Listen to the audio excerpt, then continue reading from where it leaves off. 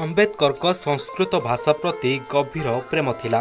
କିନ୍ତୁ ସେ ତଥାକଥିତ ଅପୃଶ୍ୟ ବର୍ଗରେ ଜନ୍ମ ନେଇଥିବା କାରଣରୁ ତାଙ୍କୁ ସଂସ୍କୃତ ପଢ଼ିବାକୁ ଦିଆଯାଇନଥିଲା ସଂସ୍କୃତରେ ପାରଙ୍ଗମ ହେବାକୁ ତାଙ୍କର ପ୍ରବଳ ଇଚ୍ଛା ଥିଲା।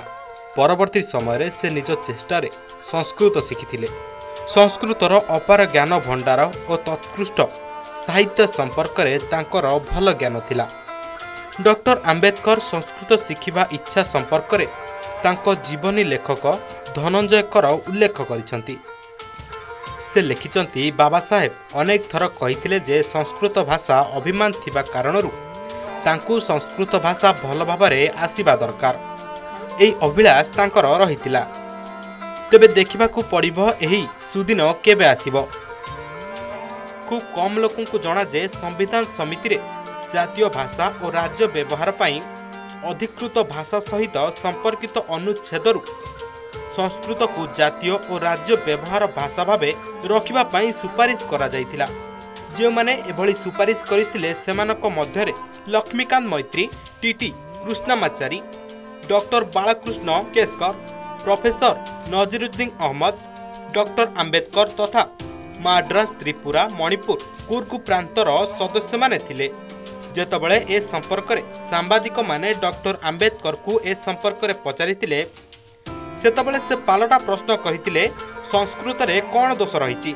ଯେତେବେଳେ ପ୍ରଫେସର ନଜିରୁଦ୍ଦିନ କହିଥିଲେ ଯେ W C Taylor Max Muller William Jones ପରି ପାଶ୍ଚାତ୍ୟ ବିଦ୍ୱାନମାନଙ୍କୁ ଉଦ୍ଧୃତ କରି ସଂସ୍କୃତ ଭାଷାର ଅତୁଳନୀୟ ସମୃଦ୍ଧି ଓ ଶୁଦ୍ଧତା ସମ୍ପର୍କରେ କହି ଏହା ଲାଟିନ୍ ଓ ଗ୍ରୀକ୍ ଭାଷାଠାରୁ କେତେ ଶ୍ରେଷ୍ଠ ତା ପ୍ରମାଣ ଦେଇଥିଲେ। ଏ ଅବସରରେ ଲକ୍ଷ୍ମୀକାନ୍ତ ମୈତ୍ର ଏହି ସଂଶୋଧନକୁ ଜୋରଦାର ସମର୍ଥନ କରି ଆଉ ଏକ ପ୍ରସଙ୍ଗ ଉଠାଇଥିଲେ।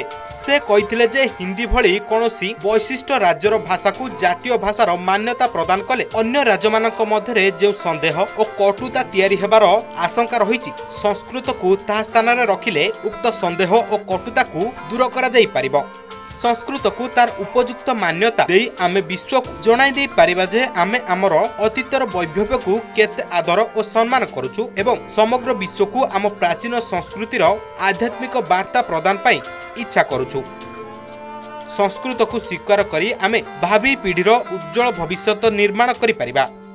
ମାତ୍ର ଦୁର୍ଭାଗ୍ୟର ବିଷୟ ଯେ ଡକ୍ଟର ଆମ୍ବେଦକରଙ୍କ ଦ୍ୱାରା ସଂସ୍କୃତ ଭାଷା ସମ୍ପର୍କରେ ଅଣାଯାଇଥିବା ସଂଶୋଧନ ପ୍ରସ୍ତାବକୁ ସ୍ୱୀକାର କରାଯାଇନଥିଲା। ସଂସ୍କୃତ ଭାଷା କେବଳ ଅଷ୍ଟମ ଅନୁସୂଚୀରେ କେବଳ ଏକ ଭାରତୀୟ ଭାଷାର ମାନ୍ୟତା ଦିଆଯାଇଥିଲା।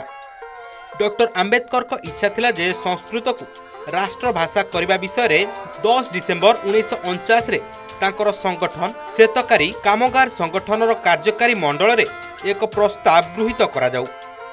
କିନ୍ତୁ ସେତେବେଳେ ବିପି ମୌର୍ଯ୍ୟଙ୍କ ପରି ଯୁବ ସଦସ୍ୟଙ୍କ ବିରୋଧ କାରଣରୁ ଏହା ସମ୍ଭବ ହୋଇପାରିନଥିଲା। ଏହି ଘଟଣାର ଦୀର୍ଘଦିନ ପରେ ବିପି ମୌର୍ଯ୍ୟ ଦୁଃଖ ପ୍ରକଟ କରି କହିଥିଲେ ଯେ ସେତେବେଳେ ସେ ଡକ୍ଟର ଆମ୍ବେଦକରଙ୍କ ସଂସ୍କୃତ ଭାଷା ସମ୍ପର୍କିତ ପ୍ରସ୍ତାବରେ ବିନା କୌଣସି କାରଣରେ ବିରୋଧ କରିଥିଲେ। ଡକ୍ଟର ଆମ୍ବେଦକରଙ୍କ ସ୍ପଷ୍ଟ ମତ ଥିଲା ଯେ ସଂସ୍କୃତକୁ ରାଜଭାଷା ଭାବେ ଦେଶର କୌଣସି ଭାଷାଭାଷୀ ଲୋକମାନେ ଏହାକୁ ବିରୋଧ କରିବେ ନାହିଁ ତଥା ଏହା ଦେଶକୁ ଏକ କରିବାରେ ସଫଳ ହେବ। ଏବେ ଏହା ଭିନ୍ନ ବିଷୟ ଯେ ତାଙ୍କର ଏହି ପ୍ରୟାସ ସଫଳ ହୋଇନଥିଲା ବ୍ୟୁରୋ ରିପୋର୍ଟ और न्यूज़।